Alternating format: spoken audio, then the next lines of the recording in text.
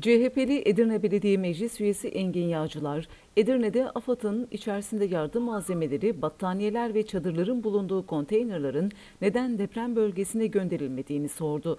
Yağcılar bugün yaptığı açıklamada Yenişehir Mezarlığı yakınındaki bir alanda AFAD'a ait içerisinde yardım malzemeleri, battaniyeler ve çadırların bulunduğu konteynerların bekletildiğini söyledi.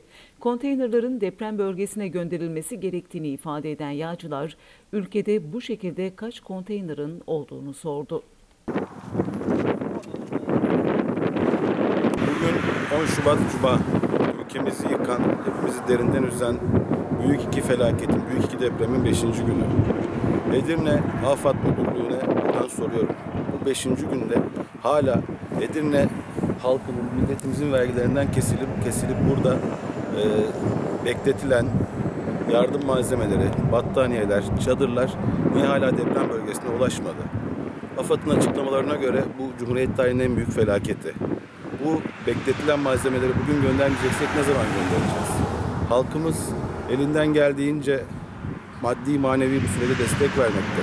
Fakat yetkililer bu konuda hiçbir şey yapmıyorlar. Yine AFAD Genel Müdürlüğü'ne de soruyorum. Ülkemizin genelinde kaç tane elde bu şekilde bekleyen konteynerler var?